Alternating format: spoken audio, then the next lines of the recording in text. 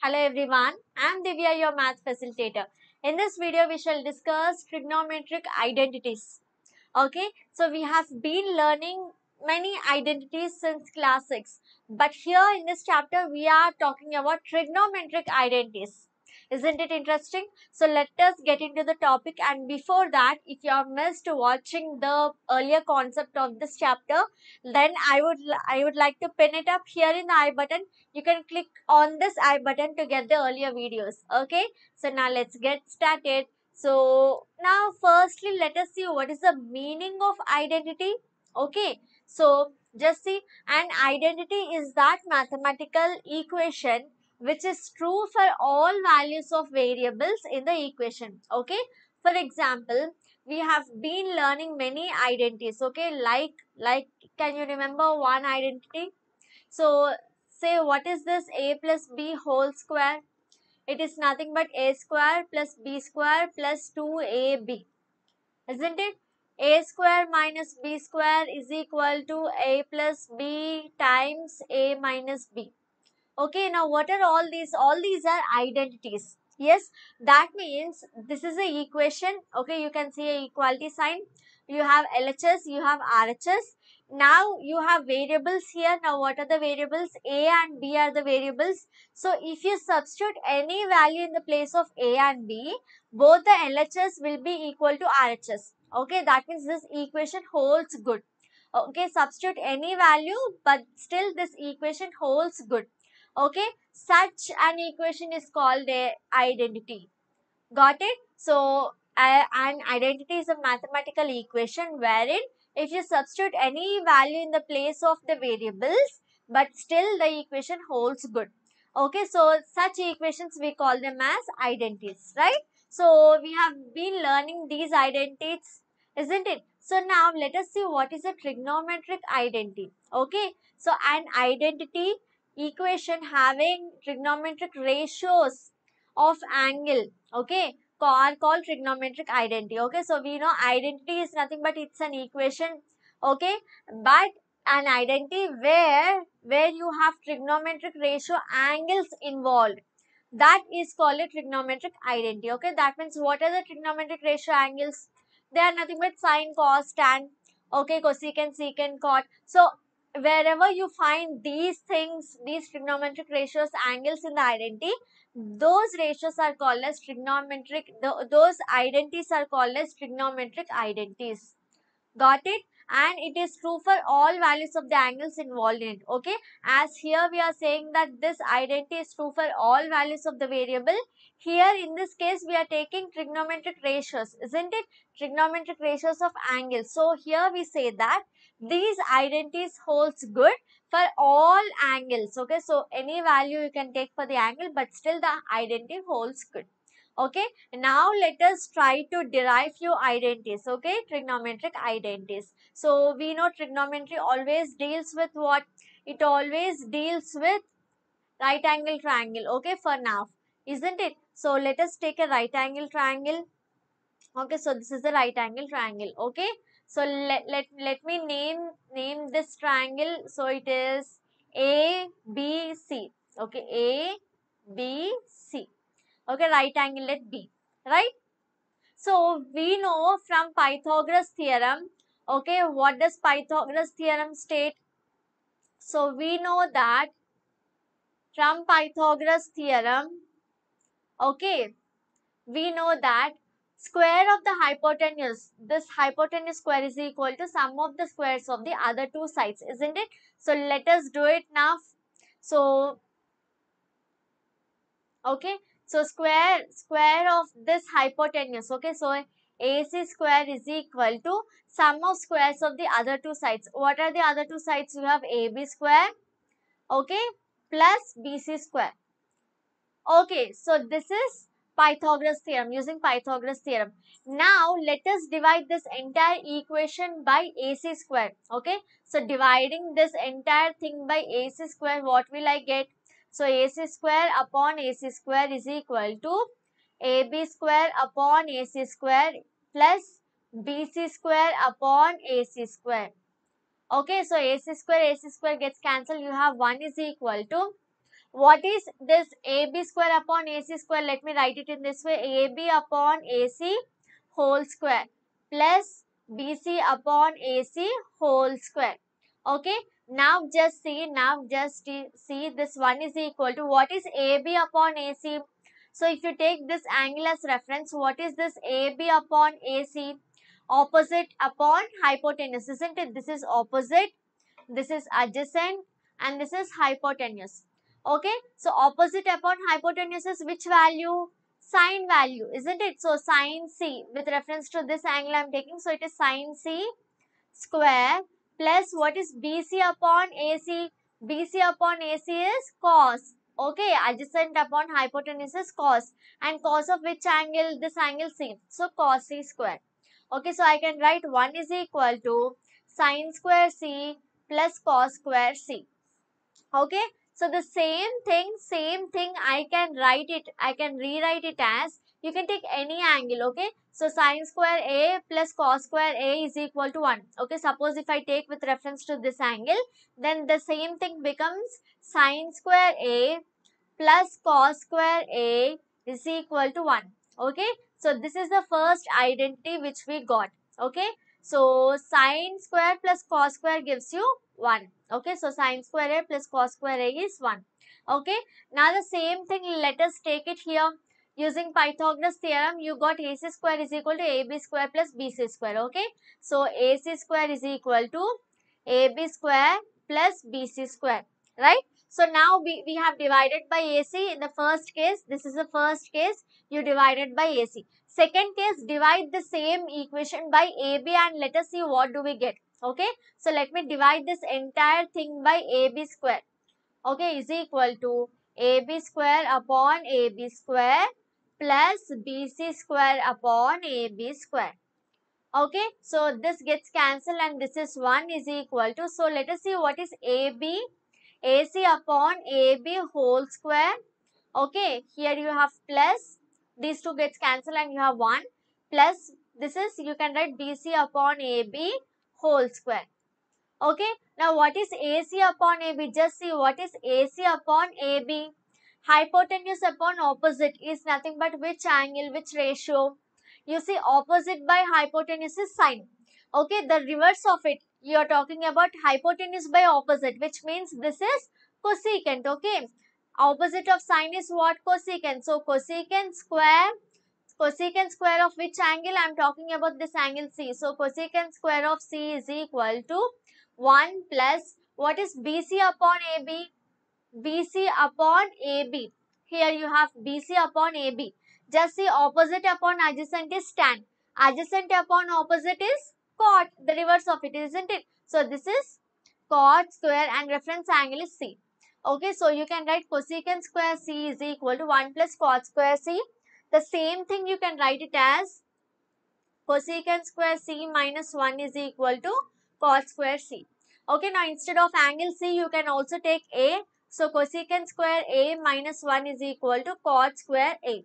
Okay, so here while naming the triangle, you have taken this as c. So, even for a also all these identities holds good. Okay, so this is one identity cosecant square a minus 1 is cot square a or you can also write cosecant square a is equal to 1 plus cot square a. Okay. So, let us move on to the next identity now. So, this was the second case where you divided this by AB. Okay. So, AC is finished. Here you divided by AC. It is finished.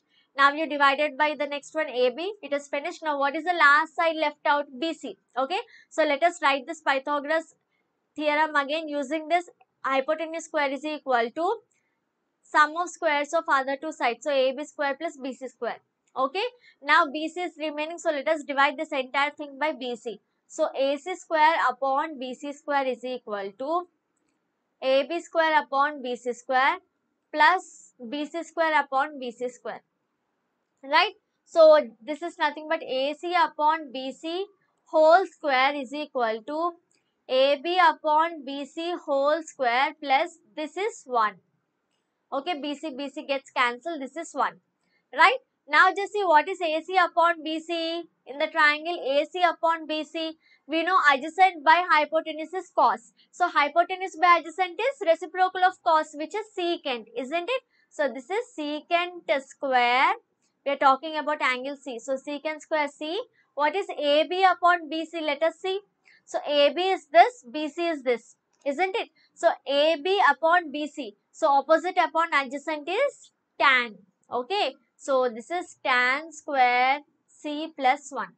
The same ratio with reference to angle A also I can write. So it will be secant square A is equal to tan square A plus 1. Understood?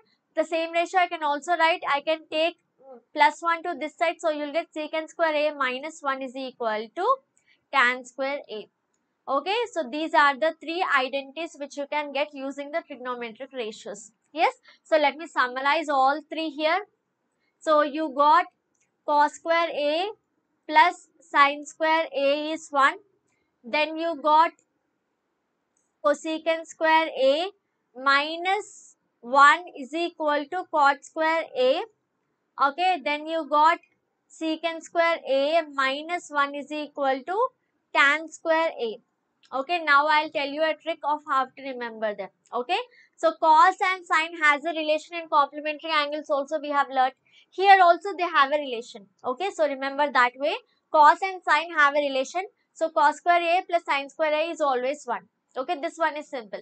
Now the next one you always get confused whether you have to take secant and tan or secant cosecant or secant cot. So here these these four ratios will confuse you. Okay, so where, where to use, where to join them. So here the the tip is so always see here you have C cosecant and C for cot. Okay, so C for cosecant and C for cot. So wherever you have cosecant, you will relate it with cot. Getting my point? So cosecant and cot has a relation. Okay. Then what is the other one?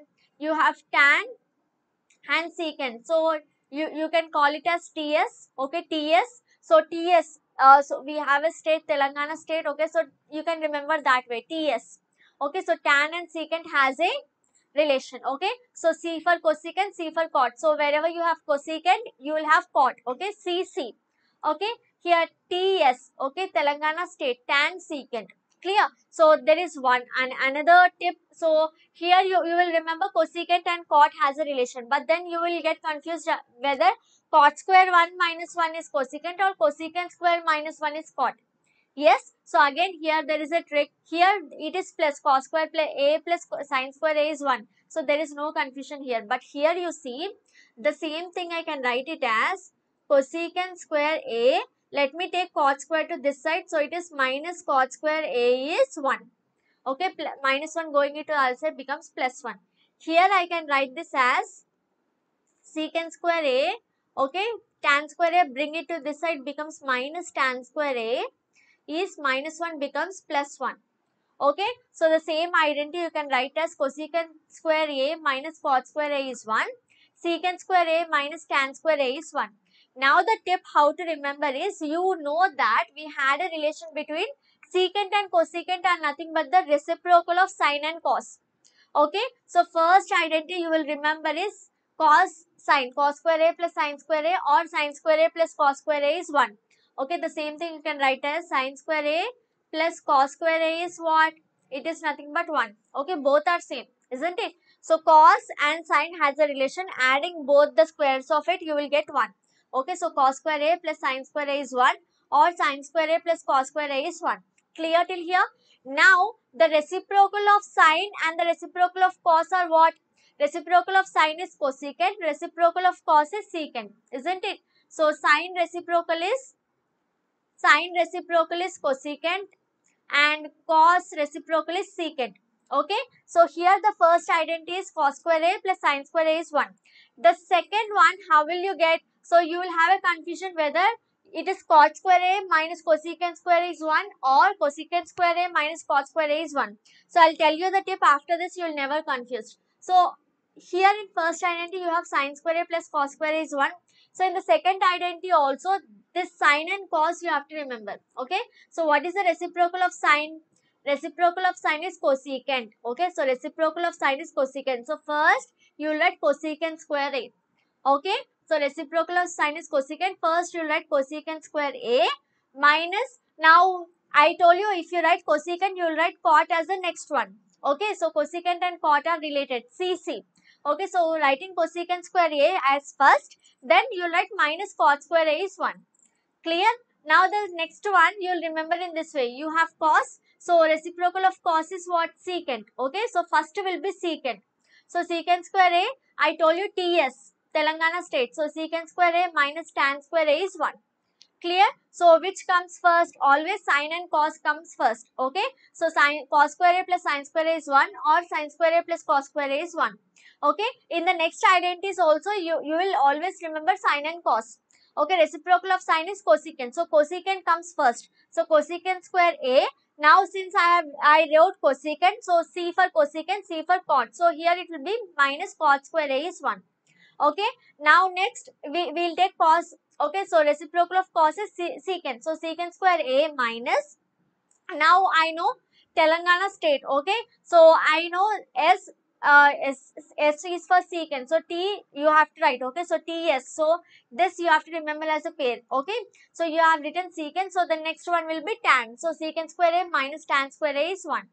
Yes, I hope now with this you will not confuse and you will not forget the formula again. Okay, the identity right? So these identities are very important and we'll be using it in your higher classes also okay? Now let let me tell you how do we use these identities in our problems okay? Now here i'll just give you one question. So let us try this. Show that show that tan square theta plus tan to the power 4 theta is equal to secant power 4 theta minus secant square theta Okay, so this is what you have to show that this LHS is equal to RHS. Okay, so let me take LHS first. LHS is tan square theta plus tan power 4 theta. Okay, so from these two I can see tan square theta is common. So taking common here, what, what is re, uh, remaining? Tan square theta, if you are taking common, you, you are left out with 1 plus tan square theta. Okay, out of tan power 4 theta, one square is here, so other square will be here. Okay, now we know that between secant and tan you have an identity. What is it? So you know secant square theta minus tan square theta is 1.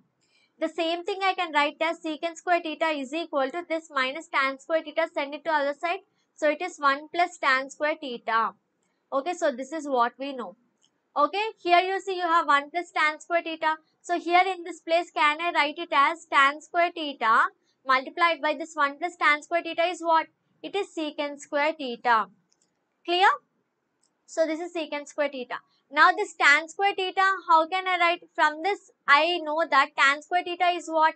Secant square theta minus 1, isn't it? So from this, tan square theta is nothing but secant square theta minus 1. Let us write it here. So it is secant square theta minus 1 multiplied by secant square theta. Okay. Now simple multiplication secant square theta multiplied by secant square theta is secant power 4 theta minus you have 1 into secant square theta is secant square theta.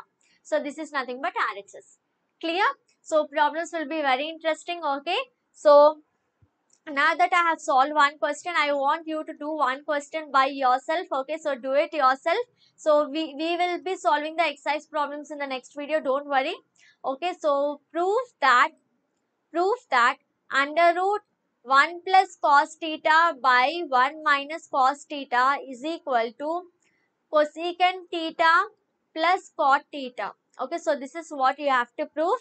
Okay, so the tip is you will rationalize this denominator. Okay, that means you will multiply this denominator and numerator by 1 plus cos theta. Okay, multiply and divide by 1 plus cos theta okay so do it yourself and also mention your answer in the comment section below if you got it or not okay?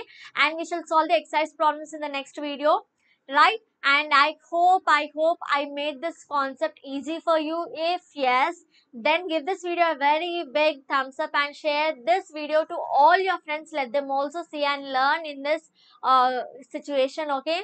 And also subscribe to the channel if you are new. And don't forget to like the video share the video. Thanks for watching